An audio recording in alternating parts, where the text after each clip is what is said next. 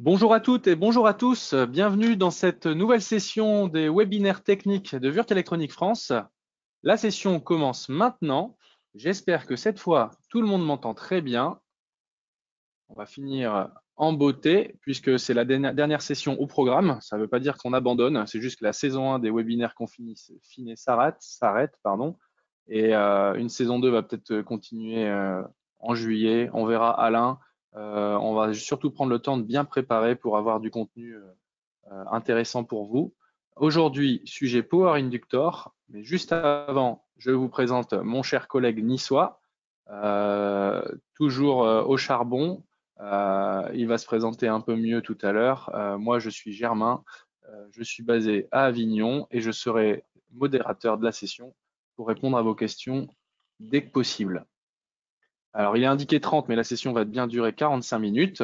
on prendra derrière le temps de débattre. Alain sera à votre disposition pour répondre à vos questions. Vraiment, on va prendre le temps. C'est pour ça qu'on a avancé un petit peu l'heure aujourd'hui. Votre micro est coupé. Euh, si vous avez des questions, vous pouvez tout de même les poser par la petite fenêtre questions, que ce soit avec un PC ou avec une tablette. Et voilà, juste avant de passer la main à Alain, j'ai une petite surprise. Euh, je voudrais juste vous poser une question puisqu'on a, euh, on a communiquer via différents modes pendant toutes ces sessions de webinaire et euh, aujourd'hui on a même euh, étendu un peu notre communication puisqu'on a même fait une newsletter et j'aurais aimé savoir sur tous les participants. On a par exemple pour info en tout on avait 70 inscrits aujourd'hui à la session et à l'heure actuelle il y a 40 personnes connectées euh, à la session webinaire. Et donc, du coup, je vais afficher le résultat pour que vous voyez un peu, voilà, mais je vois que le plus efficace reste euh, les contacts personnels par un commercial. Alors, je ne sais pas si c'est votre commercial principal ou si c'est euh, notre collègue du Télé 16 qui vous a envoyé euh, ce mail et, par lequel vous êtes inscrit. mais voilà, le sondage est en cours. Je vais bientôt l'arrêter puisqu'il y a plus de la moitié qui a, qui a répondu. Vous ne voyez pas encore les réponses, c'est normal. J'attends encore 5 secondes. Et Alain, après, je te passe la main. Voilà, on va dire plus de la moitié a répondu, ça suffira pour l'instant. Je peux vous afficher le résultat comme vous le voyez ici et on le mettra tout à l'heure.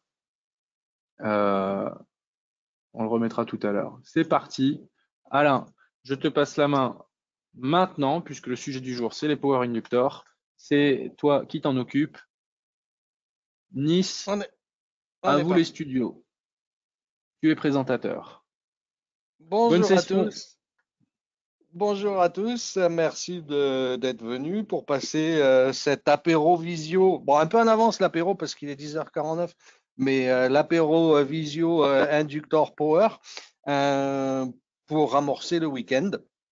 Donc aujourd'hui, on va parler du choix de l'inductance quand on design une alimentation à découpage pour éviter euh, de faire les sempiternels euh, copier-coller de notes d'application où il y a pratiquement en général zéro info où on se contente de vous dire euh, prenez une inductance avec une valeur de ripple de 30 ou entre 25 et 30 40% on ne sait jamais pourquoi et, à quoi ça sert.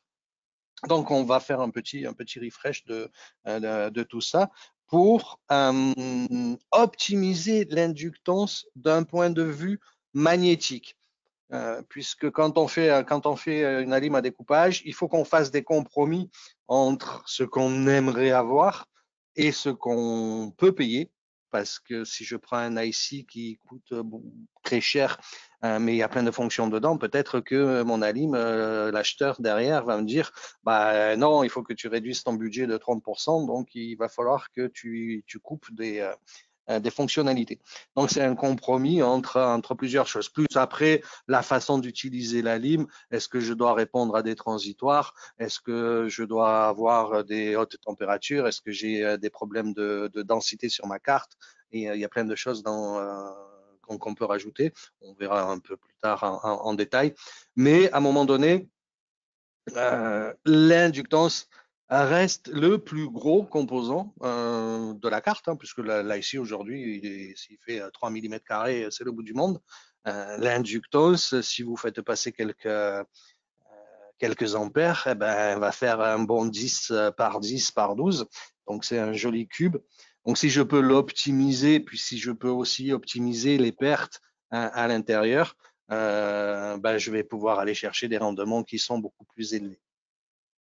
Germain vous l'a pas dit, mais si vous regardez un peu un poil en dessous, vous avez la possibilité d'avoir des questions en ligne. Si vous comprenez pas mon accent, je suis niçois, mais je pense que vous m'avez déjà placé euh, quelque part dans l'est de la France, mais je vous assure, je suis à Nice, il fait soleil, et presque si je me penche à la fenêtre, je vois, vois la mer.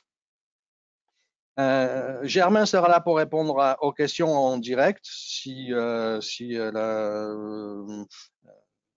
si c'est possible.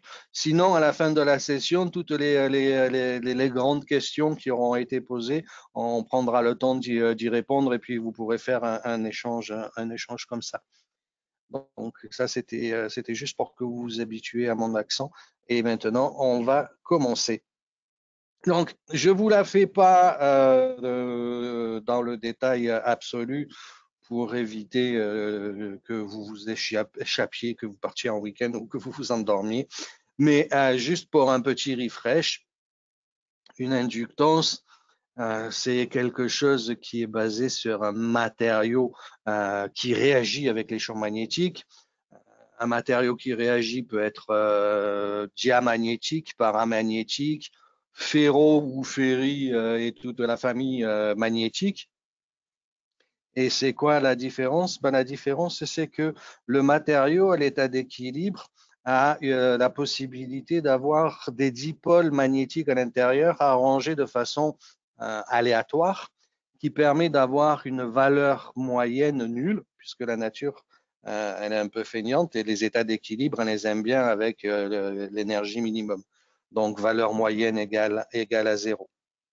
Donc ces domaines-là hein, s'appellent les domaines de Weiss à l'intérieur. Euh, bah, si c'est du ferromagnétique, les euh, électrons ont les mêmes spins dans la même, direction. Euh, il y a une énergie d'échange, c'est de la physique quantique, qui permet d'avoir des électrons qui viennent jouer dans, les, dans les bandes non pleines des, des molécules, qui permet d'avoir des dipôles magnétiques relativement élevés si on compare au paramagnétique où les valeurs de susceptibilité sont euh, positives mais relativement faibles.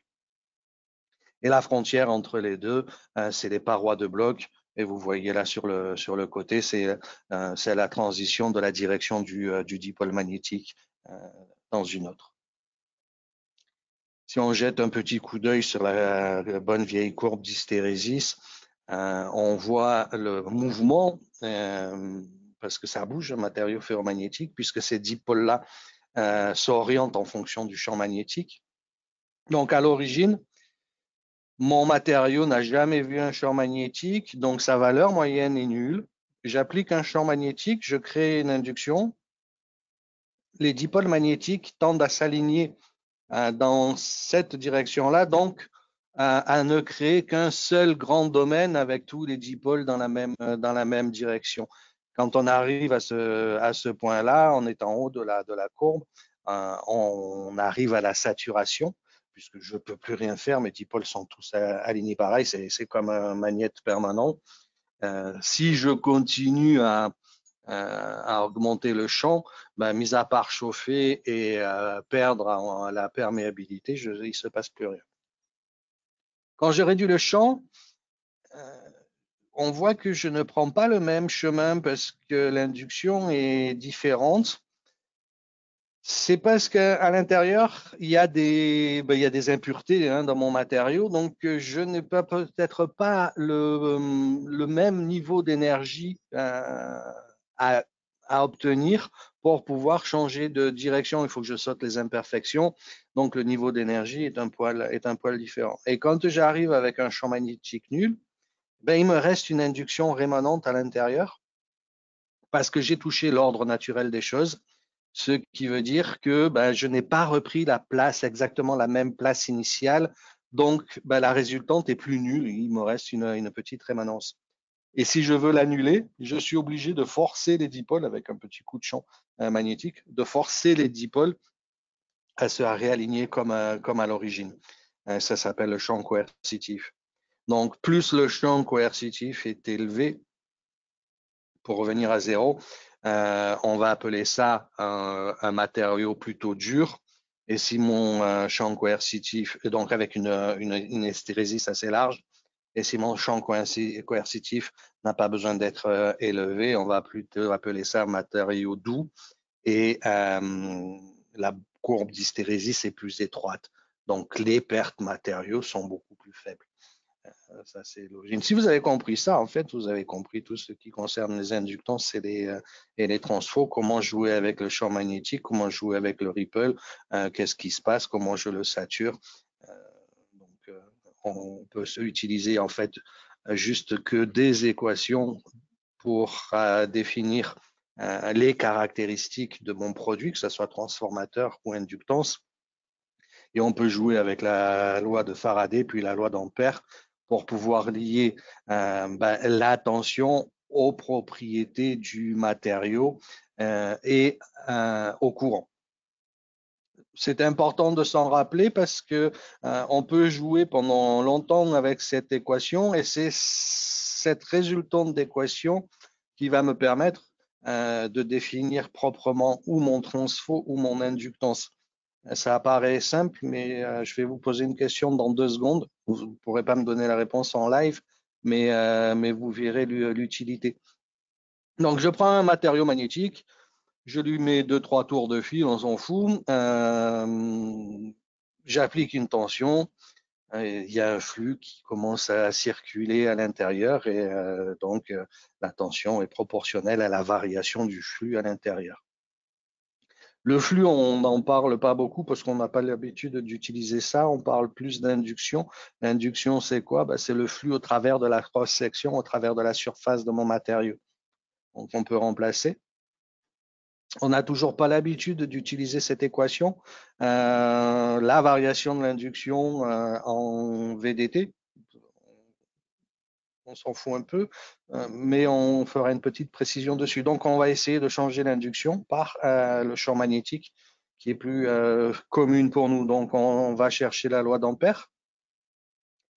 HL égale NI, puis on remplace B et on arrive à la bonne vieille équation avec le, le, nombre de tours au carré, la perméabilité du matériau, donc sa capacité à réagir avec un champ magnétique, la cross-section divisé par la longueur moyenne du, euh, du chemin magnétique et multiplié par la variation de courant. Donc, cette équation barbare, c'est communément la valeur d'inductance euh, qui va nous permettre de pouvoir euh, ben, définir quelque chose qui, nous, est en mémoire. Donc là, juste pour une, petite information, quand je vois cette équation, je peux rapidement vous donner un avantage crucial pour euh, utiliser une self blendée. Si j'utilise une blendée, mais admettons j'ai une inductance qui fasse 10 micros. Prends la même taille, donc la même taille, c'est la cross-section est exactement la même. Si je prends une self blendée, même volume, pour 10 micros,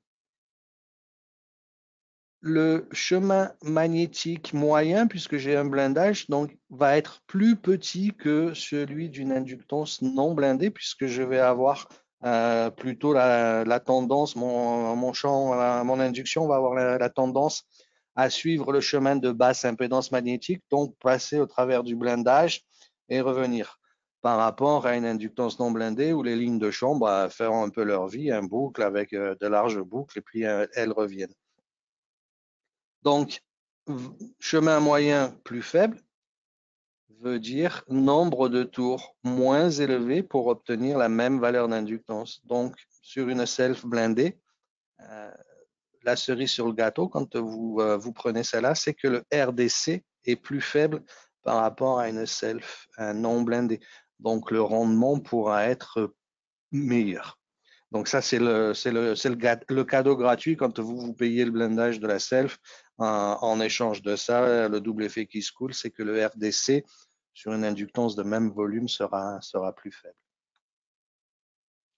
Et là, notre bonne vieille équation, V égale LDI sur dt. Donc, on connaît bien la variation du courant et on imagine bien que si j'ai un courant qui est trop élevé, ben, je vais pouvoir euh, saturer. Donc ça, c'est ancré dans les, euh, dans, les, dans les esprits. Par contre, ce qui est un peu moins ancré dans les esprits, c'est que je peux tout autant saturer mon inductance avec le VDT puisque l'induction euh, est euh, proportionnelle à VDT. Si j'ai un VDT qui est trop rapide, eh bien, euh, mon induction va être trop élevée et, je vais quand même pouvoir saturer le, saturer le matériau. Ça peut surprendre, mais quand on commence à avoir des tensions qui sont assez élevées, avec des fréquences de découpage qui commencent à être un peu élevées, il faut particulièrement faire attention à ce VDT de l'inductance pour être sûr que même si je n'ai pas beaucoup de courant dedans, euh, ben, je ne vais pas la mettre en surchauffe parce que j'ai déjà vu des inductances se dessouder de la carte euh, juste parce que le VDT était trop élevé. Donc euh, ça c'est le point, ça c'est on appelle ça du drive en tension et le DI sur DT, c'est plutôt le drive en courant. Le drive en courant sur une inductance, on, connaît bien. Le drive en tension, il passe un peu plus au, travers en général. Vu que le VDT, il n'est pas souvent donné, il est souvent donné dans des transferts forward, puisque c'est un transfert direct d'énergie, le, VDT est donné, mais pour les inductances, en général, il n'est jamais donné. Si on, on a le temps, je vous donnerai une petite astuce pour pouvoir récupérer euh, ces valeurs-là à partir de la, de la datasheet pour faire un, double, check euh, sur, euh, sur les paramètres de votre, inductance à la fin. Donc, on continue. Donc, équation la plus utile, et c'est là où j'ai une question qui tue, c'est l'énergie stockée dans une inductance. Tout le monde le sait, c'est un demi de Li carré ma question préférée, c'est euh, si le courant augmente, que fait l'énergie? Et là, vous êtes en train de vous dire, eh ben, finalement, l'apéro, il a déjà commencé avant la, session, parce que si le courant augmente, forcément, l'énergie augmente. j'ai un, un, I carré, donc euh, il nous prend pour des teubés. Sauf que moi là, je vous dis, bah non, c'est pas forcé. C'est pas forcé que quand le courant augmente, euh, l'énergie augmente. Et je parle pas du tout d'arriver à la saturation, hein, je parle d'un fonctionnement normal. Et là, vous me dites, vous vous dites hein, dans votre tête, euh, je comprends pas. Alors, je vous pose une autre question. Répondez très vite dans votre tête. Si je vous demande 1 plus 1 égale combien? Vous me dites 2. Et maintenant, je vous répète la question. 1 plus 1 peut être aussi égal à combien? Mais il est, fou ce niçois, euh, on n'est pas habitué. Mais si vous êtes en binaire, 1 plus 1, c'est 10. Et si vous êtes dans une autre base de données, 1 plus 1, ça peut être égal à 0. Donc, en fonction des conditions dans lesquelles vous vous placez, moi, je vous certifie, puis je vous le montrerai après, que quand le courant augmente, bah, l'énergie n'est pas forcée d'augmenter. Et je dirais même que des fois, elle peut diminuer. Et que quand le courant diminue, bah, j'aurais même une, tendance à vous dire que l'énergie un peu augmenté. Donc, euh, et je vous donne pas la solution maintenant parce que sinon vous allez tous vous, euh, échapper. Euh, je vous laisse un petit peu dans le, dans le suspense. Allez, on continue. Qu'est-ce qui se passe quand on rajoute un entrefer dans une inductance ou dans un transfo? Et à quoi ça va pouvoir servir? Donc, quelques petites simplifications euh, mathématiques parce que vendredi, tout est permis. Donc, euh, je peux avoir euh, bah, les, lois d'émail hein, qui s'appliquent sur, un schéma magnétique et je peux mettre en place la réluctance du noyau, hein, c'est la même équation qu'on a vue tout à l'heure, la longueur moyenne du chemin, la perméabilité, la cross-section pour le noyau et pour l'entrefer. Euh, quelle est la différence avec l'entrefer ben, L'entrefer, c'est que euh, la perméabilité, c'est mu0. Ce qui me permet de refaire le calcul et de trouver une valeur d'inductance euh, qui est égal au nombre de tours au carré divisé par la réluctance du corps plus la réluctance du noyau. À quoi ça sert? Ça sert à euh, plusieurs choses. Premièrement, comme je rajoute un entrefer, donc une réluctance supplémentaire, à cross-section, donc à volume égal, euh, je peux mettre plus de courant parce que je couche la courbe d'hystérésis, donc je vais atteindre le point de saturation plus tard par rapport à, une inductance sans entrefer. Ma saturation est beaucoup plus rapide, la courbe est beaucoup plus abrupte. Ça, c'est la première des choses. La taxe à payer dans tout ça, puisque je peux augmenter le courant, la taxe à payer, c'est que pour une même valeur d'inductance, ben, je vais être obligé d'augmenter le nombre de tours puisque hein, je divise par quelque chose de supplémentaire. Autre avantage, c'est que comme je rajoute une constante, en fait, mu0, c'est une, une constante, je m'affranchis tout au parti de la tolérance que j'ai sur le noyau parce que c'est un process chimique, c'est un mix de différents matériaux, hein, de la poudre de fer, du manganèse zinc, de, euh, de tout ce que vous avez envie pour pouvoir fabriquer l'inductance. Mais on va pas trier à la pince à épiler la taille des, euh, grains.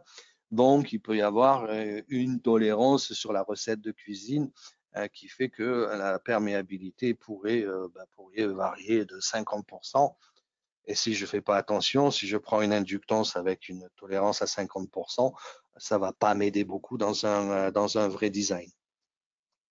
Donc, le fait de rajouter une constante me permet ben, de, de, réduire ça et je peux avoir des valeurs de tolérance euh, qui sont de l'ordre de 5, 10, 20%, ce qui, dans un calcul, euh, ben, ne me dérange plus beaucoup. On voit différents exemples de, euh, de courbe d'hystérésis. Ce qu'on peut regarder, c'est euh, la, façon de mettre un entrefer dans une inductance parce que le choix que je vais en faire peut, être euh, impacté.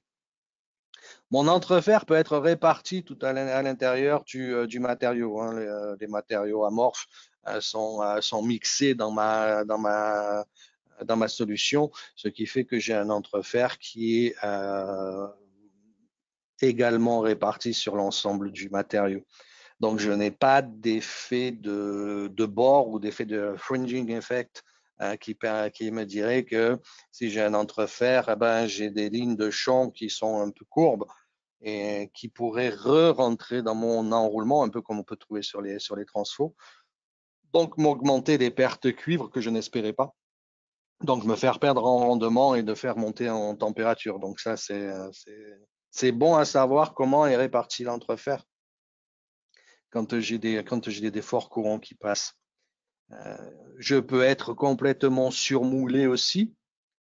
Gros avantage du surmoulage, eh ben, c'est que j'ai beaucoup plus de matériaux à, ma disposition dans le même volume, hein, parce que j'ai ni entrefer ni collage des, des deux, hein, avec un peu de, un peu de perte autour. Deuxième avantage, c'est que comme j'ai l'enroulement qui est complètement encapsulé euh, dans le matériau, euh, ben, je réduis euh, les effets de ringing de cette, petite bestiole-là, parce que la self un peu chantée souvent dans une alimentation à découpage, quand c'est pas la capa, hein, c'est forcément la self, un peu chanter de plusieurs façons. une des façons avec laquelle elle peut commencer à chanter, c'est que mon enroulement vibre. Rappelez-vous, une équation en cours dans un champ en avance, euh, mon enroulement peut vibrer et si j'ai pas la chance, je tomberai sur une fréquence euh, de vibration euh, audible. Là, l'avantage, c'est que ben, ce côté-là ne, ne va pas chanter.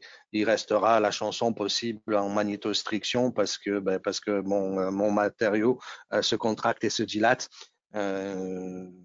et là, la seule solution, c'est soit je prends une taille plus grosse, ou je change la géométrie, ça évitera de ne pas avoir la chance et de tomber pareil sur une, sur une vibration audible. Après, quand je veux stocker pas mal d'énergie, ben, je peux faire un peu comme dans les transfos. Hein, je mets un, entrefer central pour éviter que ça crache sur les bords, parce que si je prends un self blindé et que je mets un entrefer sur les bords, euh, bye bye le, blindage. Là, ce qu'il faut faire attention, c'est que euh, ben, j'ai des effets de bord et qui pourraient revenir sur l'intérieur euh, de mes enroulements, même si c'est du fil plat. Donc, je pourrais avoir des RAC plus élevés qu'espéré et avoir des élévations de température beaucoup plus importantes. Donc, jetez toujours un œil sur la géométrie de l'inductance même pour le, pour le rayonnement hein, sur une inductance blindée, hein, une inductance standard, on a plutôt un rayonnement qui est vertical. Et sur certaines autres, euh, sur, notamment sur les surmoulés, euh, quand j'ai les pins de connexion sur les côtés, bah, je vais avoir plus tendance à avoir un, un rayonnement horizontal. Donc, euh, pour les adeptes des plans de masse en, en, dessous des inductances, qui est complètement interdit, pour éviter des pertes de valeur inductive. Mais si vous n'avez pas de possibilité autre, ou si euh, vous êtes tellement dense en design que vous me faites passer des pistes aussi sous l'inductance, ça vous permettra d'avoir moins de problèmes de couplage magnétique puisque vous changez l'orientation du champ magnétique. au lieu que ça vienne plein pot à se péter dans les pistes, je vais lui proposer un angle qui permettra bah, d'avoir quasiment euh, aucune visibilité du champ magnétique. Je vais vite, mais euh, si vous avez des questions, et puis après on pourra, discuter un peu plus en détail. Donc ça, c'est le résumé des, euh, deux équations hein, qui drivent l'inductance. Celle-là, c'est juste l'équation merveilleuse et utile, ou presque, euh, pour calculer des, euh, des. Euh, j'ai un ripple d'induction que je, choisis moi quand je fais un transfo. une cross-section, une valeur d'inductance, ça peut me donner le nombre de tours ou, inversement, si je choisis le nombre de tours, je peux voir l'impact que j'ai sur le ripple, etc., etc., plus la variation de courant. Donc ce côté-là, je drive en tension, ce côté-là, je drive en courant on en a parlé, on n'y revient pas dessus. Deux, trois infos sur les éléments parasites. Je les passe un peu plus, rapidement, mais comme ça, vous les aurez dans la présentation qui sera disponible. Alors, le, replay est disponible, mais la présentation en PDF sera disponible aussi. C'est juste l'impact des différents éléments de euh, parasites je vais, je vais attirer votre attention, pas tellement sur le RDC parce que bah, ou la euh, ou autre, mais je vais attirer votre attention sur la kappa parasite euh, de l'inductance. Euh, parce que celle-là est un paramètre qui n'est pas forcément en fonction des familles de produits très simple à avoir une tolérance faible. Pourquoi? Bah, Comme vous pouvez le voir sur la photo à droite, kappa parasite, hein, c'est la kappa que j'ai entre les, tours.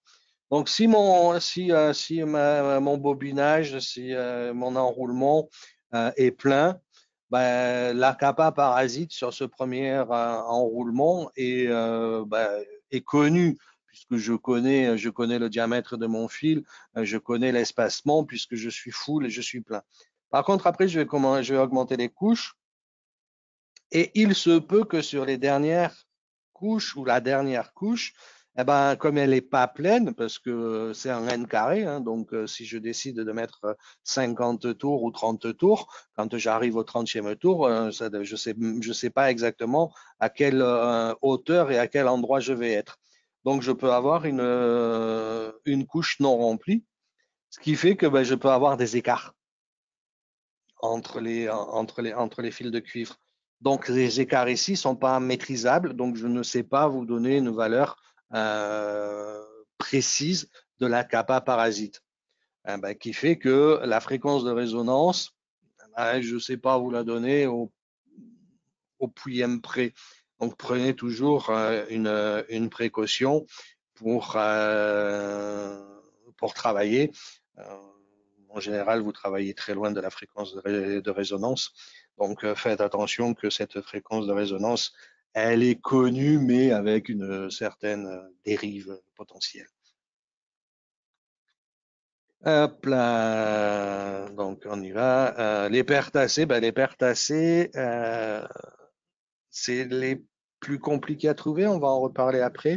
Et bien évidemment, euh, ça, me, ça me, donne un gros impact sur le facteur de qualité, euh, puisque ce que je cherche sur une inductance, c'est un facteur de qualité euh, le plus beau possible pour optimiser les pertes.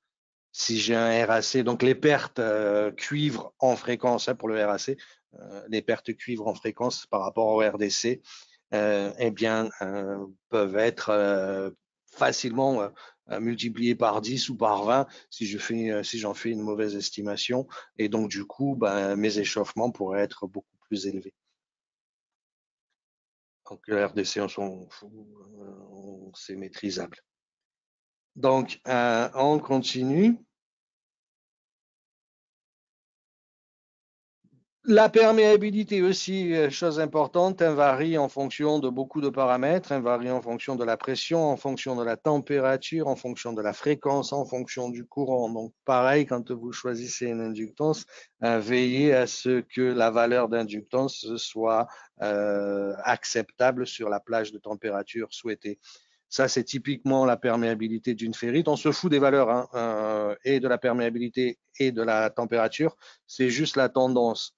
Basse température, ma perméabilité chute. Haute température, ma, perméabilité augmente jusqu'à arriver à notre ami préféré, le point de Curie, où là, je perds l'énergie d'échange et euh, je redescends sur un paramagnétique avec une valeur euh, un poil plus élevée que 1. Next. Saturation, fonction de la température. Donc, veillez aussi, et vous pourrez le voir avec Red Expert, quand vous prenez un matériau ferrite ici, euh, en fonction de votre ambiant, euh, faites attention que la valeur de courant de saturation ne soit pas euh, beaucoup plus basse qu'espéré, parce que sinon vous allez rentrer dans un mode de fonctionnement que très peu de gens aiment c'est de vous trouver sur cette partie-là de, la courbe avec une valeur d'inductance qui fait le yo-yo en fonction du, courant, plus les, euh, échauffements que ça pourrait euh, apporter, euh, plus les problèmes si j'ai des ripples qui sont beaucoup plus élevés. Donc, vérifiez en fonction de votre ambiant que la saturation soit suffisamment élevée par rapport à votre application. Hein. La valeur idéale, c'est dans cette, dans cette région-là. Après, euh, comment définir? Donc ça, c'est des matériaux plutôt soft, euh, plutôt à saturation soft, euh, poudre de fer. J'ai une saturation qui est linéaire, donc de facto, je peux avoir des courants de saturation qui sont plus élevés si je compare par rapport à de la ferrite. Et la courbure que je vais avoir, à quel niveau je vais chercher la saturation. C'est juste du marketing. Qu'est-ce qui est acceptable? Si j'augmente l'entrefer pour pouvoir avoir une saturation plus élevée, ça veut dire que j'augmente le nombre de tours à une valeur d'inductance donnée. Donc, c'est un compromis entre ben, le RDC et le courant de saturation. C'est tout. Comment on définit une inductance? Ça, c'est le plus important. On arrive à la dernière partie. Définir l'inductance dans une alimentation à découpage. Euh, on a vu tout à l'heure, hein, j'ai plein de contraintes sur le, sur le choix et le développement de, mon alim. Euh, ben, les variations d'entrée-sortie, les variations de courant, variation de fréquence si je fais du, de la CDC, les réponses dynamiques, hein, c'est tout dépend. Est-ce que j'ai à driver un transitoire, une faible charge, une, euh, une full charge, mon rendement, comment je veux le réguler, qu'est-ce que parce que euh, une alimentation stabilisée, je dois répondre assez rapidement ou suffisamment rapidement à euh, une variation. Et c'est le suffisamment rapidement qui est marrant parce que mon suffisamment rapidement ne peut pas n'est forcément pas le même que vous. Donc, on définit des marges de gain, des marges de phase. Plus j'ai la marge de phase, plus je suis lent. Moins j'ai de la marge de phase, plus je suis rapide. Par contre, je peux avoir des petites oscillations qui m'emmerdent dans l'alimentation à découpage. Euh, et puis après, donc il y a tout ce qui est température ambiante, stockage, euh, management thermique, euh, safety, CEM, plus tout ce que j'ai envie de me payer ou pas, les overvoltage, les under lockouts, les overcurrents, etc. Fêlure mode, durée de vie. La durée de vie, c'est plus important pour les CAPA, mais on ne parle pas de CAPA aujourd'hui, on parle d'inductance. Alors, un bug, c'est quoi? Ben, Un bug, euh, c'est quoi? C'est un générateur de signal carré, si je veux l'expliquer simplement, euh, pour abaisser ma tension, hein, puisqu'en valeur moyenne, je suis plus bas qu'à l'entrée. Sauf que ça, c'est euh, admissible pour personne. Donc, je, lui, suis obligé de le balancer dans un filtre LC pour récupérer sa composante continue. D'où ben, le calcul de la valeur d'inductance et de la valeur de la kappa. Après, en CEM, ben, je suis obligé de rajouter une petite kappa parce que là, je suis en train de générer des harmoniques. Et après, si je veux gérer un transitoire, est-ce que je dois rajouter une kappa supplémentaire de réservoir ou pas? Euh, C'était le débat de la semaine dernière. Euh, on n'y revient pas dessus. On va se placer en mode continu. Euh, c'est juste parce que les signaux sont jolis mais euh, vous pouvez vous placer en mode discontinu ou autre. les valeurs de calcul, c'est toujours V égale LDI sur DT, ça n'a pas changé la vie. Et ça, c'est les, les, ripples de tension. deux phases hein, dans l'alimentation. Ce qui est important de se rappeler, donc le T-on, je stocke l'énergie. Le T-off, je réduise l'énergie. Et euh, le rapport cyclique est calculé euh, parce que ce qui se passe pendant mon théon, mon stockage d'énergie, doit être forcément égal à ce qu'il se passe euh, quand je libère mon énergie. Je ne peux pas créer de l'énergie de nulle part et l'énergie ne peut pas disparaître euh, que sur un, sur un claquement de doigts. Donc, en valeur moyenne, la valeur moyenne euh, de la tension aux bornes de l'inductance doit être égale à 0 et la valeur du courant en moyenne doit être égale à 0 sur la kappa. Partant de ce principe de base, c'est valable pour toutes les alimentations à découpage, ben, je peux me permettre de calculer, et je dis bien calculer, le, rapport cyclique, puisque c'est important dans le calcul le rapport cyclique n'est pas simplement, euh, comme on trouve dans la majorité des notes d'application sur le, sur le bug, tension de sortie divisée par tension d'entrée. Ça, c'est bon pour euh, les maternelles supérieures parce que quand je fais ce genre de calcul, je ne prends aucun élément parasite en considération. Et euh, si je commence à prendre des éléments parasites, donc euh, la chute de, euh, de tension, soit de la diode de roue libre, soit du MOS, eh ben, c'est un paramètre que je vais, rajouter. Et mon rapport cyclique va augmenter. Je peux aussi mettre dans l'équation la valeur de, tension, la chute de tension du MOS du découpage. Euh, le rapport cyclique va encore augmenter. Je pourrais rajouter le RDC de mon inductance si j'ai des forts, des forts courants. Mon rapport cyclique va encore augmenter. Et à la fin, comme ça, c'est valable que pour ces signaux carrés et que moi, je suis plus en trapézoïde puisque j'ai des temps de montée, des temps de descente, le rapport cyclique va encore augmenter. Euh, ce qui fait que le calcul de base si je prends juste ça, V sur V il va être super loin de la réalité. Et si je veux avoir une contrainte particulière sur le Ripple, eh ben, j'ai plutôt intérêt de faire un calcul propre pour m'assurer que mon premier poteau, euh, proto, je suis suis pas au chou et euh, que je sois obligé de mettre plus de temps que nécessaire euh, à l'optimisation des, performances. Regardez à quoi qu'est-ce qu'il peut y avoir comme élément parasite. Hein. Donc, chaque chute de tension est intégrée dans le, rapport cyclique. puisque c'est la tension vue par l'inductance pendant le T-on. Donc, il y a plein de choses pendant le T-on. Et pendant le T-off, ben, quand ma, mon inductance est court-circuitée de ce point-là à la masse, on voit tous les éléments parasites de la sortie. Le seul degré de liberté quand je fais une alimentation, c'est pas la tension d'entrée parce qu'on me l'a fourni, c'est pas la tension de sortie ben, parce qu'on me la demande. Là ici, si ça se trouve, j'ai du stock, je peux même pas aller choisir là ici parce qu'il faut que je vide mon stock. Le seul euh, degré de liberté, c'est le ripple de courant que je vais laisser euh, dans l'inductance. Donc, il y a ben, plusieurs euh, choses. Hein. Un, il faut que je sois trapézoïdal pour éviter une montée en saturation hein, qui vous permettrait d'avoir des montées en exponentielle, donc trop rapide. Et c'est là où je risque d'aller cramer mon IC ou mon MOSFET. Et si mon MOS crame, mon inductance crame. Et quand moi je récupère la carte, il faut que je sache lequel des deux a cramé en premier pour savoir d'où vient le problème. Et je vais dessouder deux fois, euh, ça va rebrûler avant que je m'en aperçoive. Et au bout de la quatrième fois, quand j'ai dessoudé la carte, je la jette parce que les pistes, euh, elles n'auront pas aimé. Donc ça, c'est assez, critique. Et c'est de là que je vous parlais de l'énergie tout à l'heure. Comment choisir le ripple pour optimiser euh, l'inductance d'un point de vue magnétique? Hein, On revient à nos moutons de la base. Euh, comment la choisir pour que mon inductance soit le mieux possible? Ben, je me sers de l'énergie stockée à l'intérieur, un demi de L I carré. Et je vous ai dit tout à l'heure que quand le courant augmente, eh ben, l'énergie n'est pas forcément euh, en train d'augmenter.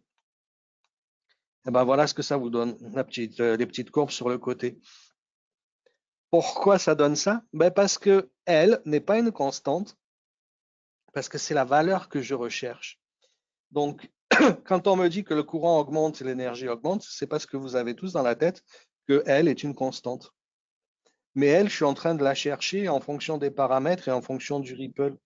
Donc, V égale LDI sur DT, je remplace L par le VDT euh, delta I. Mon delta I, c'est le ripple, donc je remplace tout ce beau monde à l'intérieur. Et ça me donne ce genre de courbe. En bas, j'ai le ripple. Donc, plus mon ripple augmente, eh ben, je vois que ma courbe, c'est plutôt quelque chose qui est euh, exponentiel euh, hyperbolique jusqu'à arriver à quelque chose de flat. Donc là, c'est euh, comment optimiser? Ben, d'un point de vue magnétique, juste inductance. Si j'augmente beaucoup le ripple, donc je suis par là, je vois qu'à un moment donné, et ça, les courbes, les différentes couleurs, c'est en fonction du rapport cyclique. C'est pour ça que je vous dis que des fois, c'est important euh, de le calculer, euh, euh, proprement. Si j'augmente de trop le courant, d'un point de vue magnétique, je n'ai aucun bénéfice parce que je suis flat. Donc, l'énergie que je vais avoir besoin de stocker, donc le volume nécessaire, le volume physique, va pas changer. Donc, je vais avoir des gros ripples, mais euh, je ne vais pas avoir de valeur euh, de, taille d'inductance qui va changer. si je réduis la taille mon ripple, l'énergie que j'ai besoin de stocker, l'énergie relative, augmente très très très rapidement. Donc si je travaille à ce point-là parce que j'ai un tout petit ripple, je sais que ben, la taille de mon inductance n'est pas optimale parce que comme j'ai euh, ben, là par rapport à une valeur standard, je vais être obligé de stocker trois fois plus d'énergie à l'intérieur de l'inductance. Donc, ça veut dire que ben, mon volume est beaucoup plus élevé. Donc, ma taille d'inductance est grande. Donc, le compromis, c'est ça. Euh, ben, je vais essayer de travailler euh, dans le genou, au début du genou de la, euh, de la courbe, pour être sûr que eh ben, ma valeur de ma taille d'inductance par rapport au Ripple est un bon, euh, est un bon choix. Je ne pourrais pas diminuer de trop la taille, je ne pourrais pas changer trop les paramètres. Donc, dans cette euh, région-là, euh, c'est assez, c'est assez sympathique de pouvoir, de pouvoir travailler. Donc, c'est pour ça qu'en général, une des raisons que vous retrouvez dans les datasheets, Ouais, ben, choisissez un ripple entre 0,2 et 0,4. Hein. Ça, c'est en fonction des, euh, des rapports cycliques derrière. Donc, c'est toujours dans ces zones-là que les gens travaillent. C'est bien pour l'inductance et c'est bien aussi pour les IC en général parce que quand vous faites de, la compensation courant, bah, vous avez besoin d'avoir d'un petit ripple quand même pour pouvoir faire une mesure de min et de max, euh, surtout quand vous êtes à faible charge. Euh, s'il y a un peu de bruit sur la mesure, vous aimez bien détecter ces, valeurs. En dessous de 40%, c'est un peu chiant. Euh, donc, les IC aiment bien que vous ayez des ripples de 40% pour être facile euh, sur la mesure. Donc, là, est content, euh, l'inductance est content. Et après, les compromis que vous avez à faire, ils sont les suivants. je, je, veux fournir une alim à découpage à un module radio. Le module radio, les découpages et les harmoniques, il n'aime pas bien. Donc, ben, mon compromis, c'est je vais être obligé de réduire le ripple pour faire plaisir à mon module radio. La taxe que j'ai à payer dans ces cas-là, ben, c'est que je ne cherche pas l'optimisation de l'inductance parce que je sais que ben, la taxe à payer, ça sera que mon inductance peut avoir une taille un poil plus élevée. Si je veux augmenter les ripples pour, euh, pour diminuer les valeurs d'inductance, euh, en me disant je vais essayer de taper un boîtier plus petit, bah, à un moment donné, comme j'ai un volume euh, qui reste flat, hein, parce que le, mon réservoir d'énergie restera le même, donc c'est pas forcément pardon, euh, l'idéal. Voilà, c'était c'était la façon de, de pouvoir, d'un point de vue magnétique, euh, se faire un, un, point de départ sur ce qui est bon pour mon inductance, plus après, ben, avantages et inconvénients de, du paramétrage et euh, du, euh, de, mon, euh, de mon application derrière. Les deux sont valides. Hein. Je peux travailler de ce côté, de ce côté-là parce que parce que j'ai envie que ça soit un peu plus rapide ou des choses comme ça. Et je peux travailler de ce côté-là parce que je crains pareil. Je crains le, je, crains la CEM. donc je vais essayer de minimiser les ripples. Bon, bah, je paierai une inductance un peu plus un peu plus chère parce qu'un peu plus grosse. Euh, application numérique, pour, euh, pour finir, juste pour vous donner l'exemple. Euh, tension d'entrée 19,5 volts, fréquence de découpage 1 méga, tension de switch et tension de, roue libre 0,3. Brut de décoffrage, j'ai un rapport cyclique à 0,26, théorie pure, sans élément parasite. je rajoute juste la diode de roue libre euh, ben, mon rapport cyclique augmente. Je rajoute le switch qui est ici, euh, mon rapport cyclique augmente. Et c'est d'autant plus vrai que l'écart entre les tensions, d'ailleurs il y a une petite coquille ici parce que c'est plus 20, euh, c'est pas des 24, c'est 19, mais c'est pas grave. Plus le rapport cyclique, enfin plus la différence de tension est faible, plus le rapport cyclique va, va augmenter. Et si vous vouliez contrôler le ripple et que vous partez sur un calcul qui est faux, vous allez vous retrouver avec des valeurs d'inductance euh, qui sont euh, pas forcément exactement ce que vous aviez besoin.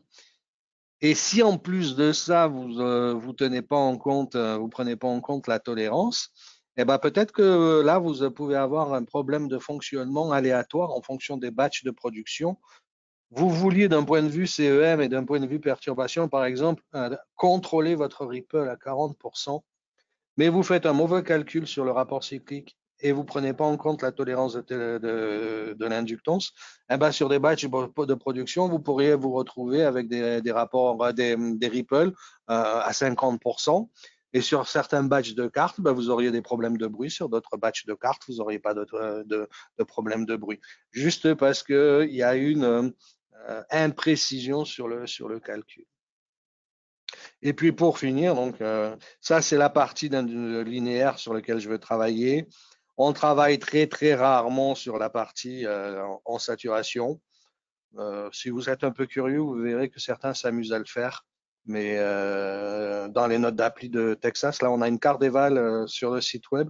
Si vous la lisez, vous verrez qu'on peut travailler, donc pas en temps normal, mais on peut travailler sur ces, sur ces zones de saturation pour réduire les valeurs d'inductance et réduire les tailles quand c'est vraiment des applications critiques. Mais euh, honnêtement, je ne vous le conseille pas du tout. Et si vous travaillez dans cette zone rouge, bah, il faudrait peut-être vous recycler en cuisine ou en maçonnerie parce que c'est pas du tout de l'électronique. Ça, c'était pour la, la boutade. Perte, euh, perte noyau, perte euh, cuivre. Donc, les pertes d'essai sont faciles à calculer, nos problèmes. C'est du, euh, du RI carré. les pertes AC, c'est commence à être problématique parce qu'en fonction de la fréquence, je ne sais pas, avec les effets de proximité, où c'est que vont se balader de mes électrons. Et si je ne sais pas où vont se balader les électrons, je ne connais pas la cross-section utile euh, d'utilisation, donc je ne sais pas faire une figure géométrique et je ne sais pas faire le calcul de la résistance AC. Et on peut voir hein, sur cet exemple-là que la résistance AC, euh, même à basse fréquence, parce que c'est du 300, peut être quand même six fois supérieure, au, euh, voire dix fois supérieure à la ORDC. Donc faites attention quand vous faites les calculs. Faites attention aussi quand vous faites les calculs au IAC que vous prenez. Ce n'est pas le ripple de courant, euh, c'est le ripple au carré divisé par 12. D'où ça vient ça? Ça vient des séries de Fourier. Euh, Monsieur Fourier qui nous a dit un jour que la valeur RMS est égale à la racine carrée de la composante continue au carré plus la composante AC au carré.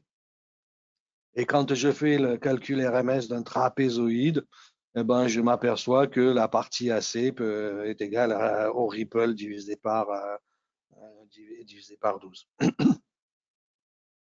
Et comme je sais que ben, ça, vous, ça vous contrarie beaucoup euh, de faire les calculs, notamment quand on parle de perte noyau, euh, puisqu'on a des vieilles formules de Steinmetz en général euh, qui ont été faits à l'époque sur des tors et des sinus, donc absolument euh, quasiment plus exploitables de nos jours, mais toujours fournis par les vendeurs de noyaux.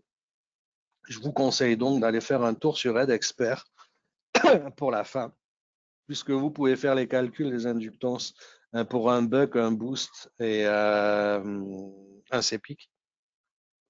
Vous rentrez les paramètres, donc ça, c'est les, euh, calculs qu'on a fait tout à l'heure. 5 hein. volts en sortie, 19 volts, fréquence de découpage, là j'ai mis 820. Euh, Ripple, j'ai choisi 45% en fonction de mon rapport, euh, de mon rapport cyclique.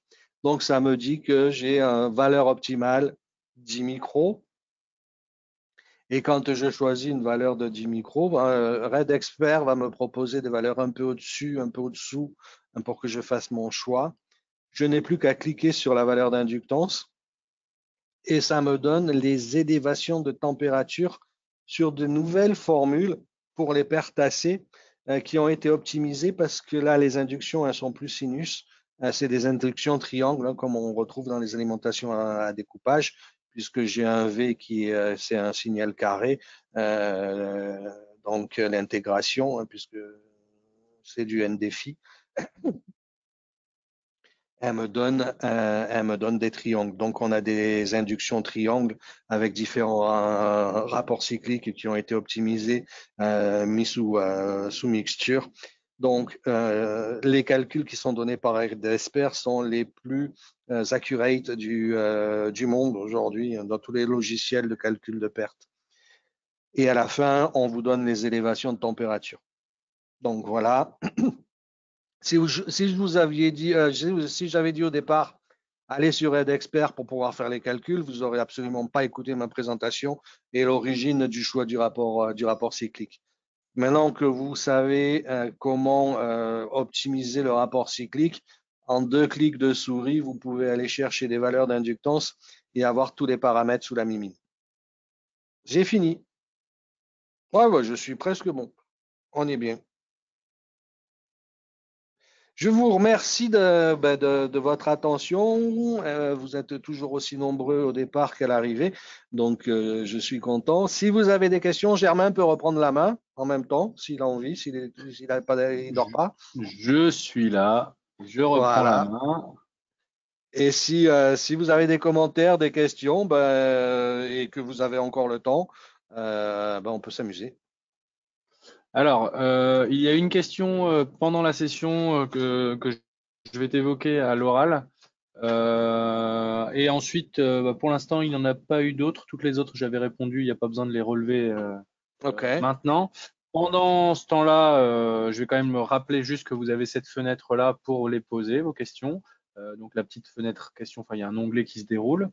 je vois qu'il y en a quand même pas mal qui ont l'habitude.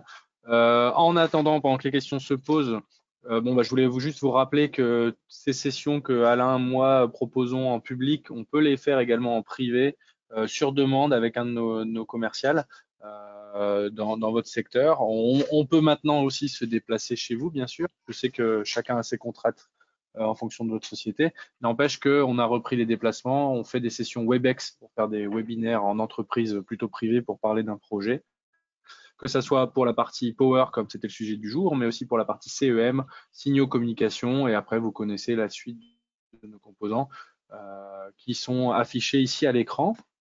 Tous les replays de ce que nous avons présenté lors des 8 dernières semaines, je, pense ça fait à peu près 8 à 10 semaines, euh, sont disponibles en replay, enfin ils sont disponibles sur le site internet que je mets maintenant sur le chat.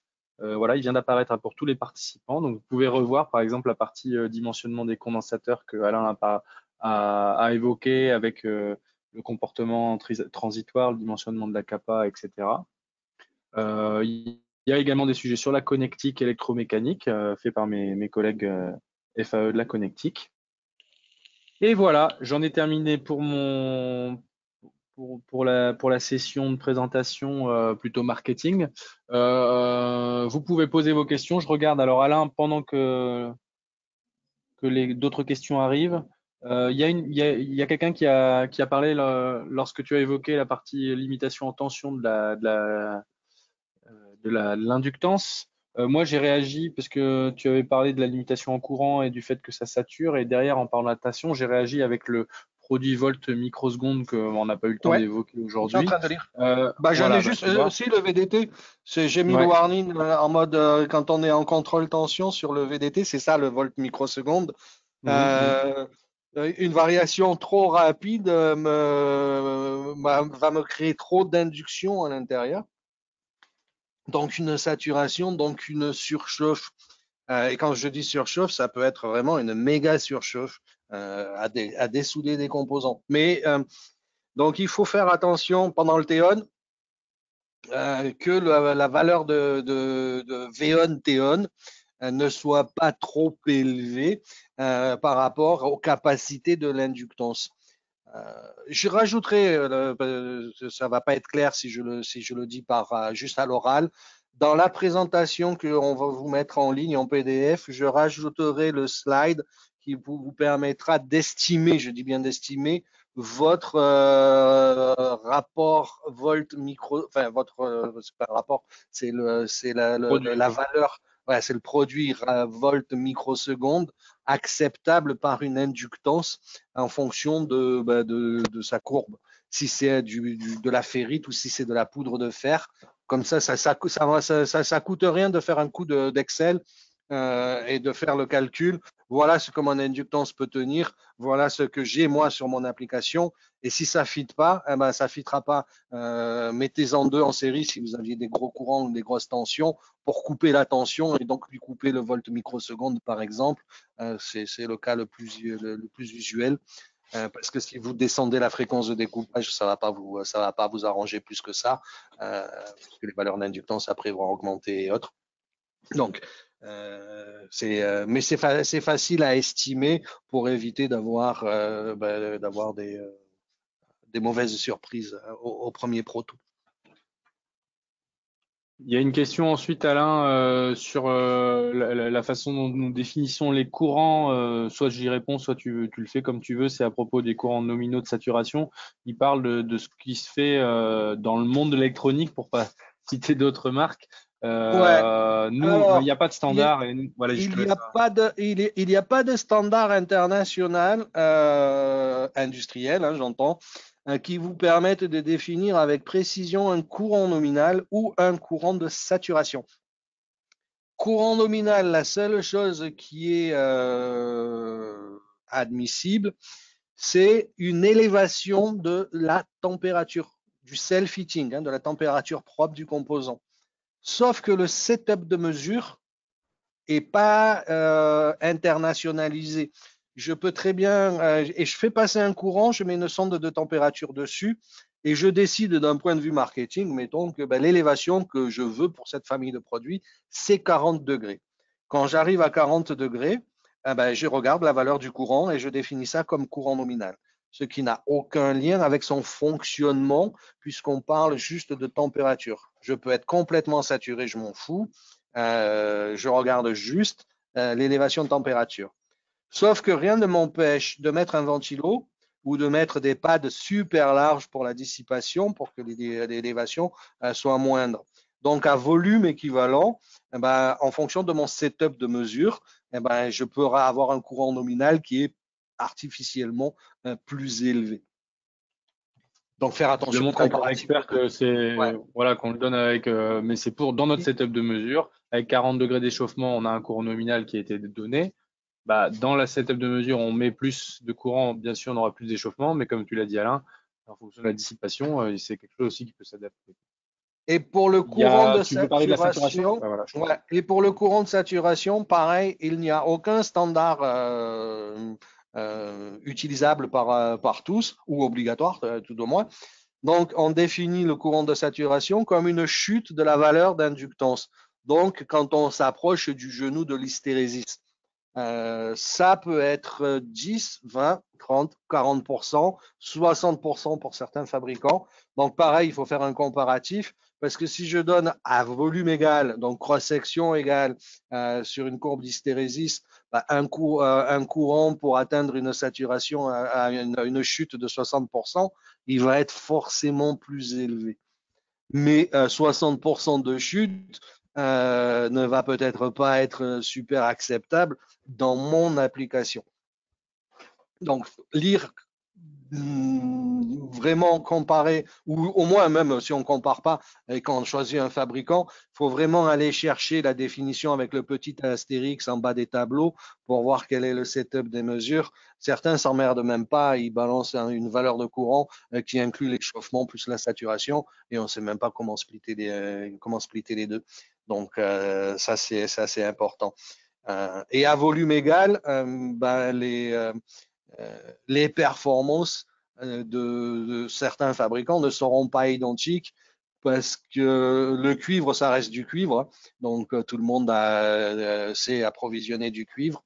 La perf viendra du matériau et de la recette de cuisine du matériau donc là, pareil, en fonction de la fréquence et de l'application, euh, il ne faut pas se tromper dans le choix du matériau pour éviter d'avoir des pertes trop élevées. Il n'y a pas de, règle magique. Il y a juste que si j'utilise une poudre de fer, eh ben, euh, comme je sais que j'ai une hystérésis un peu large, il va falloir que j'essaye de jouer avec mon ripple euh, et de ne pas l'avoir trop élevé pour pas que l'excursion delta B m'engendre trop de pertes etc., euh, etc. Donc, euh, L'avantage de Red Expert, c'est que vous avez euh, bah, les, différents, les, différentes valeurs et les, les, différents noyaux.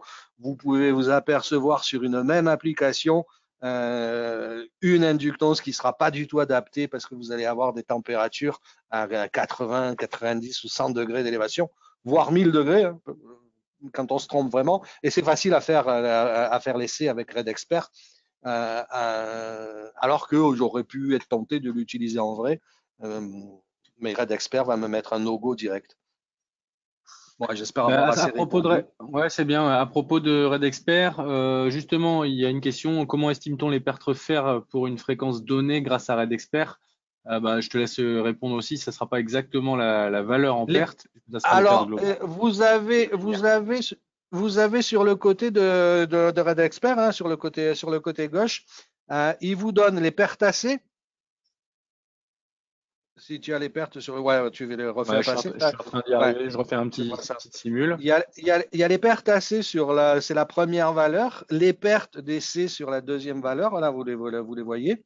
Euh, donc, j'ai pas la main, mais donc, euh, vous, vous, les voyez et à l'élévation de l'élévation de température. Donc, euh, c'est lui qui vous fait le calcul automatiquement Comment on le fait? Vous avez une note d'appli sur le site web qui vous explique un peu plus en détail ce que j'ai dit. On prend des inductions triangulaires où on a fait des mesures euh, avec des inductions triangulaires et des rapports cycliques différents sur les familles de, produits.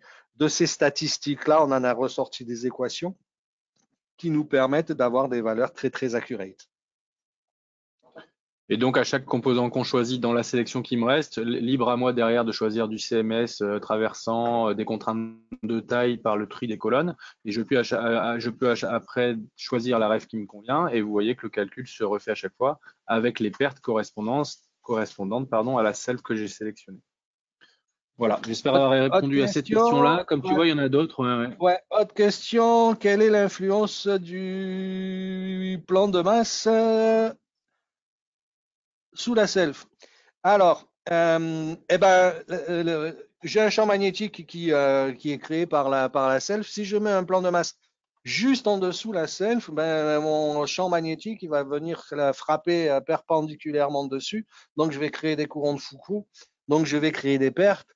Et donc, ça veut dire qu'au final, ma perméabilité diminue.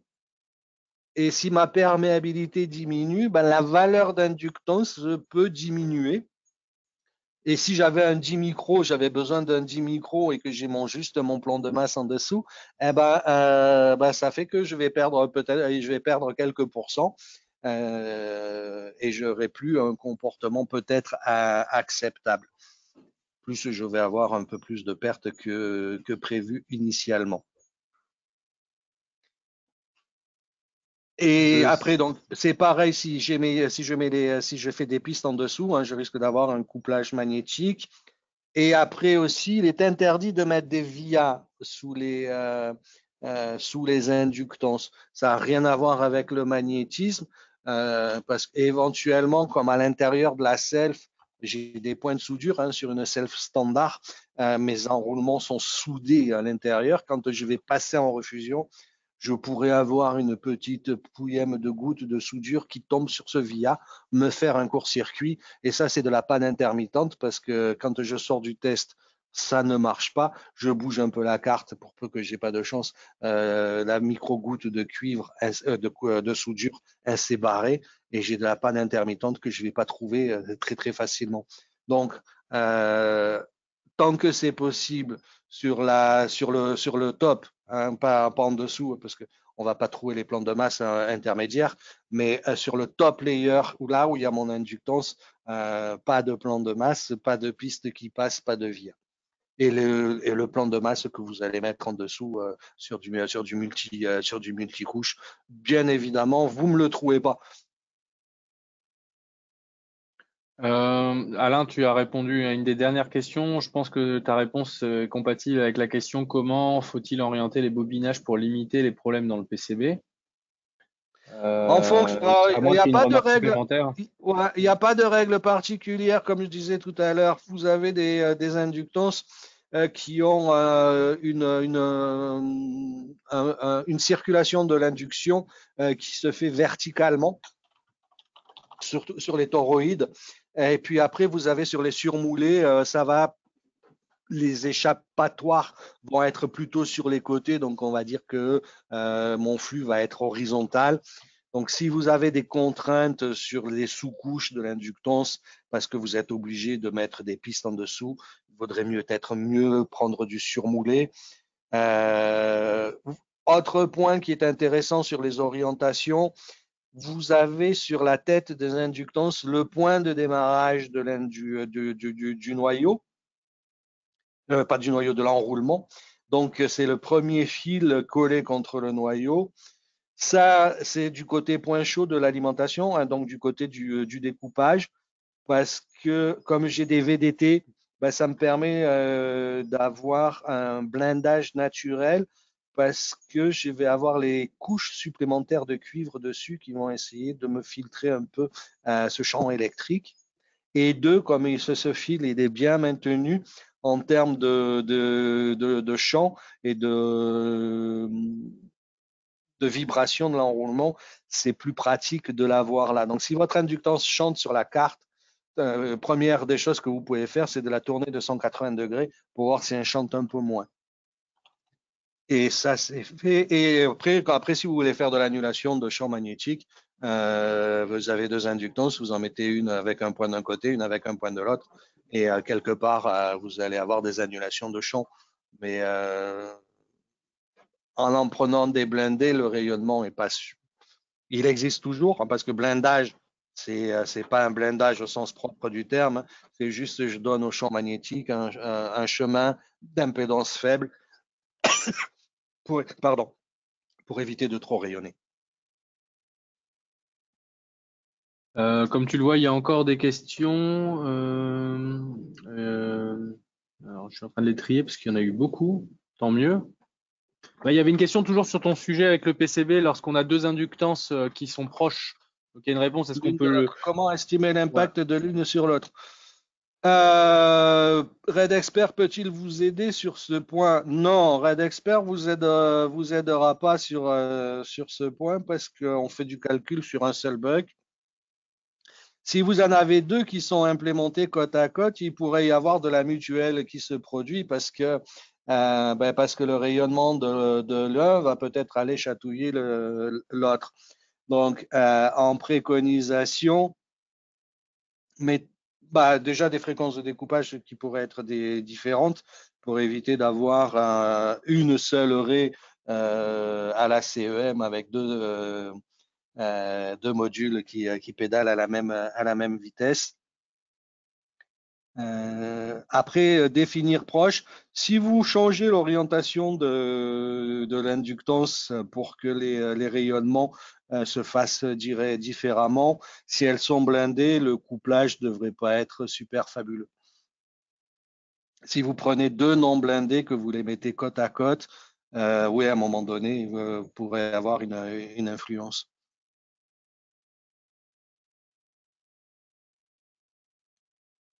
J'étais en mute. Alain, merci à toi.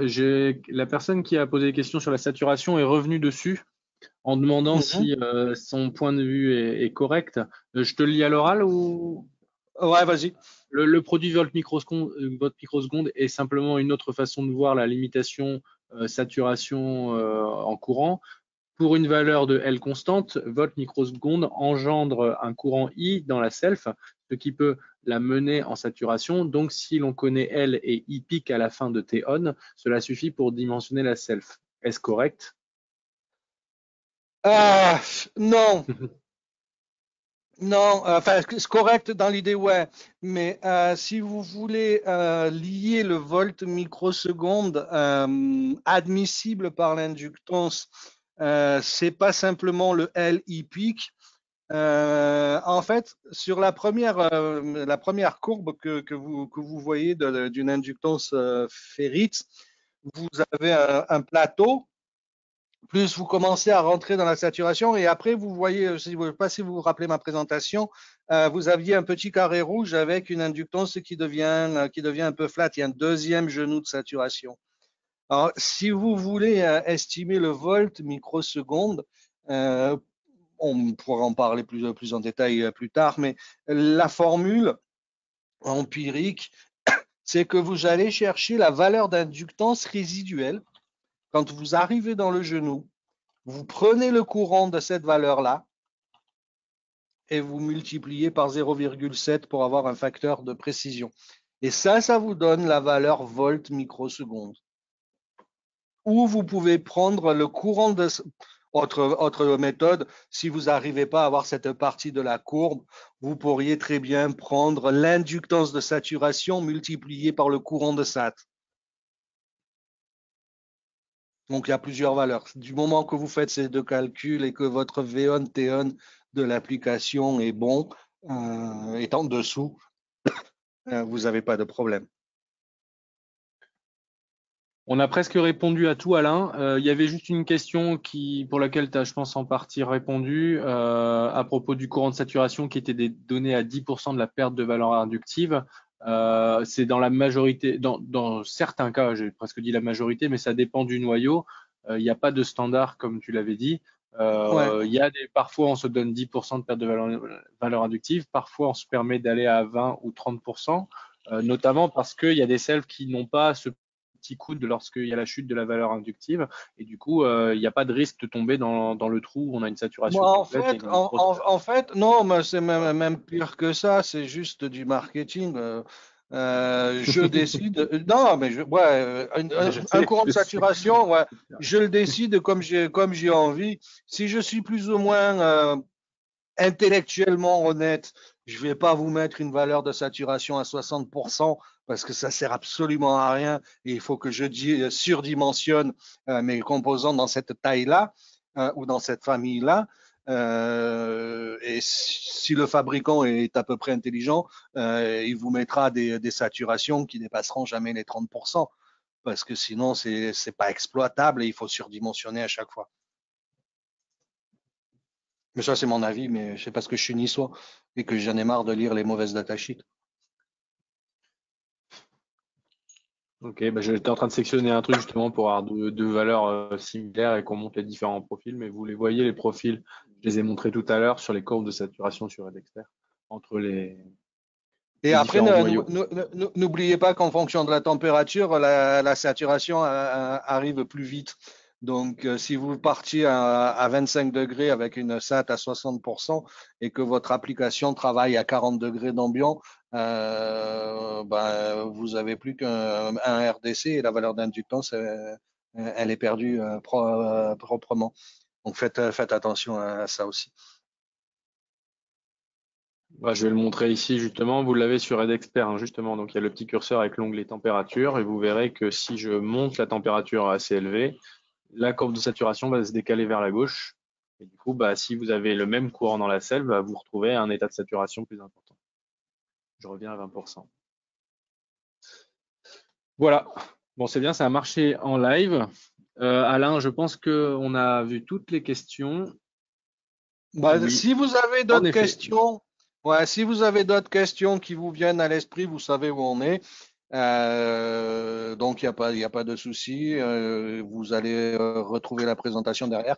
On vous remercie d'avoir participé. Maintenant, c'est l'heure d'aller déjeuner. Pour ceux qui sont en RTT cet après-midi ou qui sont en home office, je vous souhaite un bientôt excellent week-end et je vous dis à très bientôt. Merci à toutes et à tous. Merci Alain euh, pour cette présentation.